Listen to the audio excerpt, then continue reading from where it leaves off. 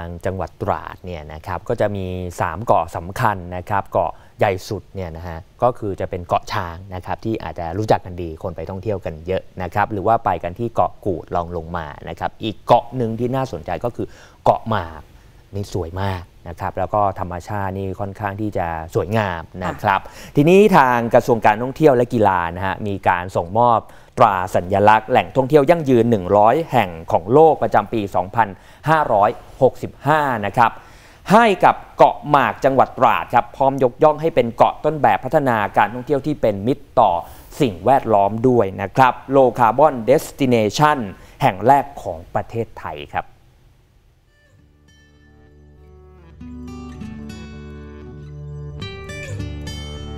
จากความสำเร็จในการพัฒนาพื้นที่เกาะหมากจังหวัดตราด ให้เป็นเกาะต้นแบบในการพัฒนาการท่องเที่ยวที่เป็นมิตรต่อสิ่งแวดล้อมlow carbon destination แห่งแรกของประเทศไทย แล้วก็เป็นต้นแบบในด้านความปลอดภัย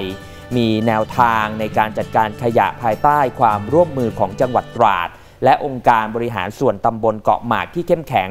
มากว่า 10 ปี ทำให้ได้รับรางวัลเป็นแหล่งท่องเที่ยวยั่งยืน 100 แห่งของโลกประจำปี 2565 หรือว่า 2022 Green Destinations Top 100 Story ซึ่งมีพิธีส่งมอบตาสัญลักษณ์อย่างเป็นทางการ โดยมีนายพิพัฒน์รัชกิจประการ รัฐมนตรีว่าการกระทรวงการท่องเที่ยวและกีฬาเป็นผู้มอบให้กับนายชำนาญวิทย์เตรัตน์ผู้ว่าราชการจังหวัดตราด โดยโครงการนี้ดำเนินงานโดยองค์การบริหารการพัฒนาพื้นที่พิเศษ เพื่อการท่องเที่ยวอย่างยั่งยืนองค์การมหาชนหรือว่าอพท ที่ได้รับมอบหมายนโยบายจากกระทรวงการท่องเที่ยวและกีฬา ในการขับเคลื่อนนโยบายการท่องเที่ยวสีขาวภายใต้ โครงการเศรษฐกิจ BCG ของรัฐบาล เพื่อมุ่งเน้นนักท่องเที่ยวเชิงคุณภาพมากกว่าปริมาณ พัฒนาแหล่งท่องเที่ยวในไทยให้เป็นการท่องเที่ยวอย่างยั่งยืนหรือว่า GSTC ซึ่งเป็นเกณฑ์พื้นฐานการประเมินของ Green Destination โดยอพท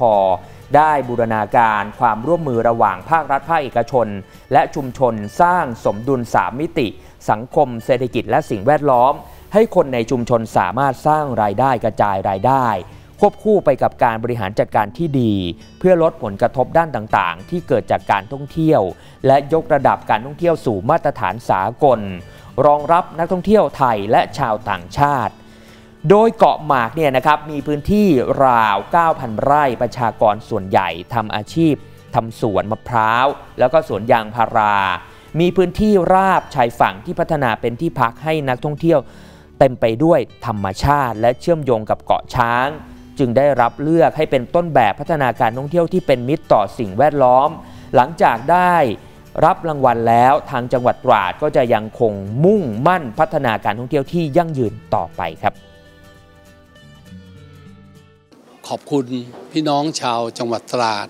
พี่น้องชาวตำบลเกาะหมากนะครับ ที่ช่วยกันรณรงค์ช่วยกันปลูกปั้น เมื่อประกาศเป็น top ร้อยแล้วเนี่ยจุดสนใจของนักท่องเที่ยวชาวต่างชาติที่สนใจเรื่องของ low carbon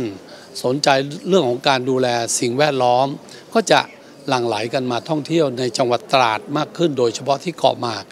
วันนี้ถือว่าเป็นภาระสำคัญจะต้องไปวางแผนทำอย่างไร ให้การท่องเที่ยวเกาะหมากมีความอุดมสมบูรณ์โดยเฉพาะในเรื่องของทรัพยากรธรรมชาติสิ่งแวดล้อม ซึ่งต้องขอบคุณพี่น้องนะครับคนเกาะหมากนะครับในเรื่องของหลักเกณฑ์การเข้าไปใช้ชีวิต ในเรื่องของการทิ้งขยะการจัดการขยะ รวมทั้งเกาะหมากจะไม่มีสิ่งบันเทิงลงลมนั้นถ้าหากใครชอบชีวิตแบบธรรมชาติเพียว ผมยืนยันว่าที่เกาะหมากมีให้ท่านไปให้กำลังใจกับพี่น้องเกาะหมาก ที่เขาต้องทำกิจกรรมแบบนี้มาเป็นเวลากว่า 10 ปี และจะทำต่อไปเพื่อรักษาเกาะหมากให้เป็นมรกตสีเขียวแห่งท้องทะเลตาดครับท็อปร้อยก็คือการเป็นบันไดขั้นแรกเท่านั้นเอง คือเกณฑ์การพิจารณาเนี่ยถ้าได้ 15 ข้อจะได้ท็อปร้อยนะครับได้ 30 ก็จะได้ท็อปร้อยครั้งที่ 2 ถ้าจะเป็น Green Destination ต้องได้ถึง 58 ข้อ ปัจจุบันเนี่ยเราเพิ่งประกาศพื้นที่พิเศษเพื่อการท่องเที่ยวยั่งยืนอีก 3 แหล่งก็คือเชียงราย เอ่อกรุงบางกระเจ้า แล้วก็ลุ่มน้ำเทสาบสงขลานะครับก็เชื่อว่าในพื้นที่ลุ่มน้ำเทสาบสงขลาและอีกทั้งสองแหล่งเนี่ยยังมีพื้นที่ที่มีศักยภาพที่จะสามารถไปสู่ท็อปร้อยได้อยู่สสำหรับในปี 2566 อพท ก็จะเพิ่มการพัฒนาในพื้นที่เดิมที่ผ่านเกณฑ์การพิจารณา 15 ข้อ และได้รับการรับรองกิน Destination Top 100 Story ไปแล้ว เพื่อมุ่งสู่การได้รับเลือกเป็น Green Destination ต่อไปครับ